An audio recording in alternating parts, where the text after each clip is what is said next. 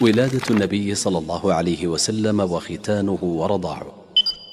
في يوم الاثنين الثاني عشر من ربيع الأول من عام الفيل ولدت آمنة بنت وهب مولودها العظيم متهللا بأبي هو وأمي.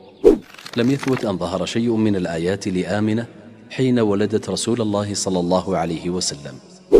في يوم سابعه صلى الله عليه وسلم ختنه جده عبد المطلب. وسماه محمدا صلى الله عليه وسلم.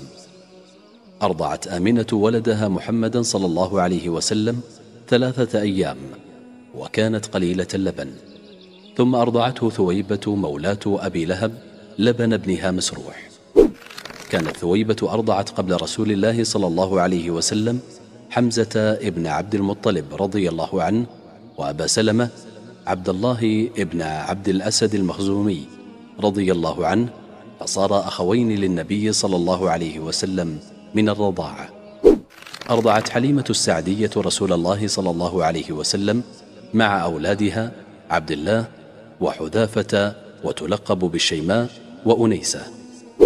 لرسول الله صلى الله عليه وسلم سبعة إخوة من الرضاعة حمزة أبو سلمة أبو سفيان ابن الحارث مسروح عبد الله حذافة وهي الشيماء أنيسة ولم يكن له صلى الله عليه وسلم إخوة لا من أبيه ولا أمه.